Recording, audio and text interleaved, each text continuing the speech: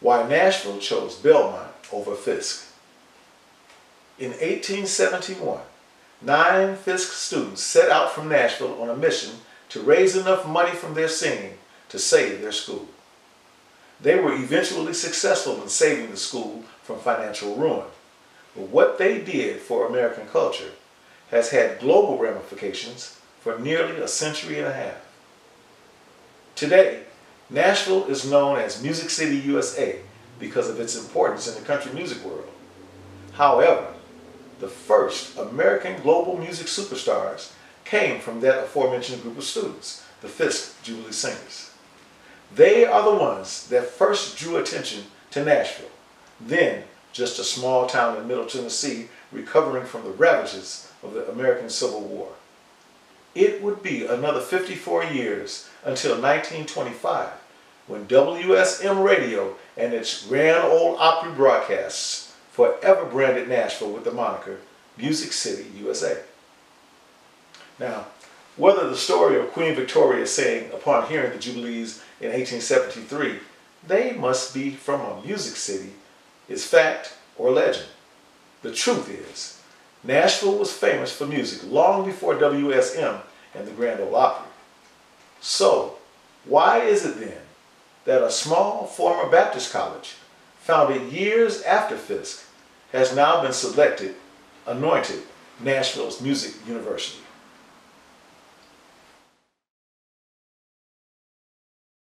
Much of it begins with the fact that when Fisk was founded, although it is the oldest institution of higher learning in Nashville, older even than Fisk's giant little sister Vanderbilt, it has always been discriminated against because it educated black people. Nashville's racist past has been a huge determining factor in Fisk not being funded and growing like Vanderbilt.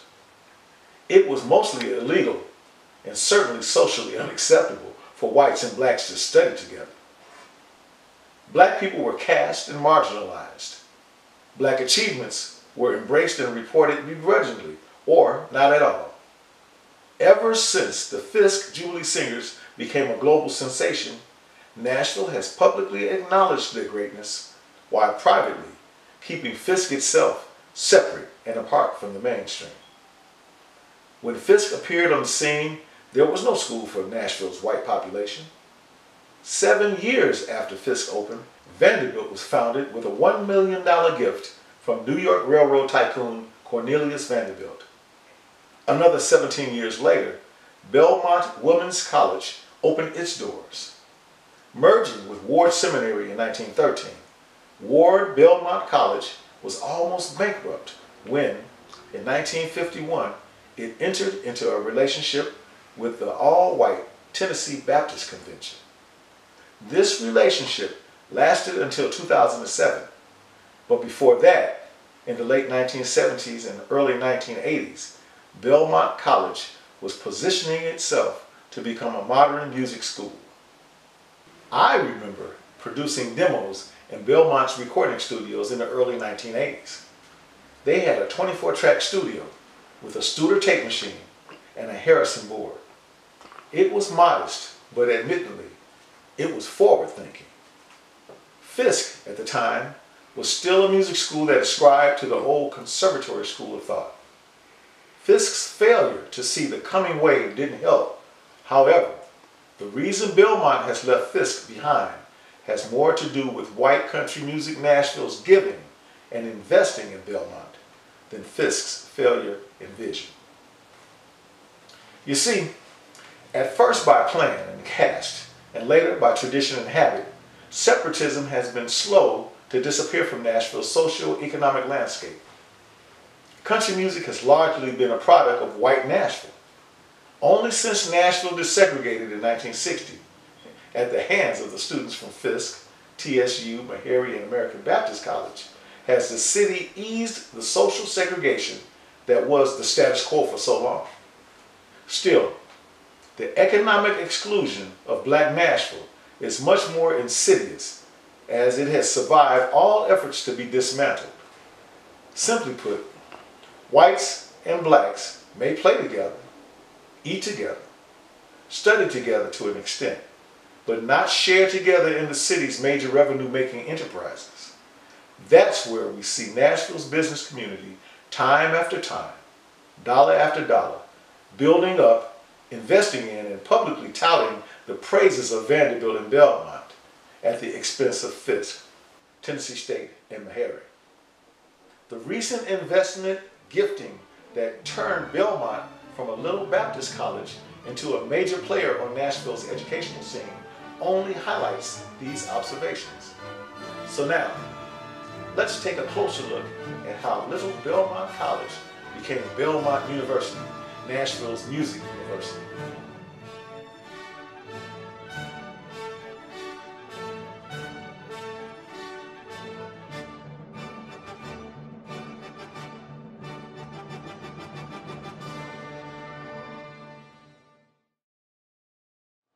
Earlier, I mentioned that the Tennessee Baptist Convention saved Belmont College financially from the 1950s through the 1970s. But around 1970, a major financial player came into the Belmont College picture. His name was Jack C. Massey. And Massey was one of the most successful businessmen in U.S. history. In 1964, Massey, already a millionaire from a surgical supply company he owned, bought a fast food company from its original owner, Harlan Sanders. That's right, Massey bought Kentucky Fried Chicken Corp and turned it into a $700 million a year business. Four years later, he co-founded Hospital Corporation of America, HCA, which has become the most successful for-profit hospital organization in American history. Another company Massey was involved with from the ground up was Correction Corporations of America. That's right, the private prisons behemoth that has incarcerated so many young black men was a brainchild of the man who was responsible for the health and welfare of millions of Americans. Of course, any businessman that makes that much money is practically forced by American tax law to be at least somewhat philanthropic.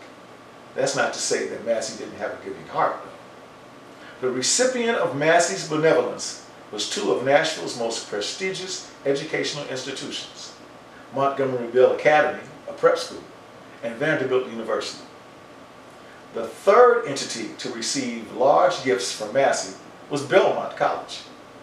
Massey gave so much to Belmont that they were eventually able to distance themselves from the oversight of the Conservative Baptist Convention. To this very day, the effects of Massey's generosity can be seen on the Belmont campus as the Jack C. Massey Graduate School of Business stands there in his honor. Massey passed away in 1990 at the age of 85, and soon thereafter, Belmont acquired another gracious patron. His name, Mike Curb of Curb Records, a major player on Nashville's Music Row. Curb Records is the culmination of a long string of music business successes by Mike Curb, who has been described as one of the most successful record businessmen of the late 20th century.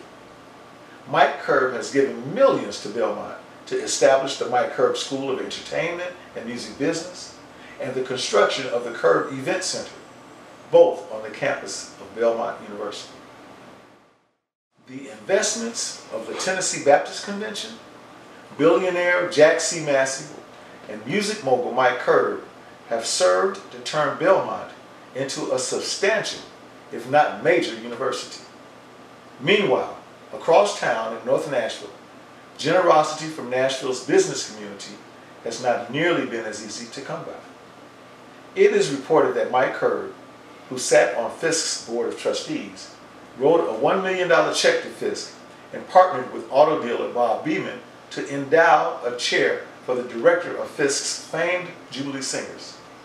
However, no permanent structures, no recording studios, nothing of that kind are presently visible on Fisk's campus, and a $1 million gift, although of course greatly appreciated, pales in comparison to the multi-millions of dollars infused into Belmont over just the past 40 years. Is it that Fisk is not worthy of Nashville's investment and benevolence? Surely that is not the case. Nashville was a sleepy little town until the students of Fisk brought international acclaim to it a century and a half ago. It was stuck in the mire of Jim Crow segregation until 1960, when Fisk students, along with those of TSU, Meharry, and American Baptist College, bravely pushed back against the racist practices of the stores and lunch counters downtown. Yes, Nashville's march towards becoming the international cosmopolitan metropolis it is today was largely initiated by the HBCUs in North Nashville. But has Nashville given its HBCUs the same level of love and support it has given Vanderbilt and Belmont? The answer, sadly, is no. The reason now is evident. Fisk is black, and Nashville needs to look at its past honestly and objectively and see this truth. Fisk is surely deserving of support. Fisk has done nothing but make Nashville proud since day one, from its Jubilee singers to its storied alumni like W.E.B. Du Bois, Ida B. Wells, John Hope Franklin, John Work, Nikki Giovanni, John Lewis, Diane Nash, and countless others who have enriched the city and given so much. Fisk has been a beacon of light and a Nashville treasure. Take an honest look, Nashville, and see what needs to be done to support this great university, denied so long. The time is now to make things right. Find it in your collective hearts, Nashville. In this coming year, the 150th year of the Fisk Jubilee Singers, stand with Fisk and do for her what has to be done for any and every great institution of higher learning. Put Nashville's resources behind Nashville's oldest and most storied university. Look past color and honor the content of Fisk's character.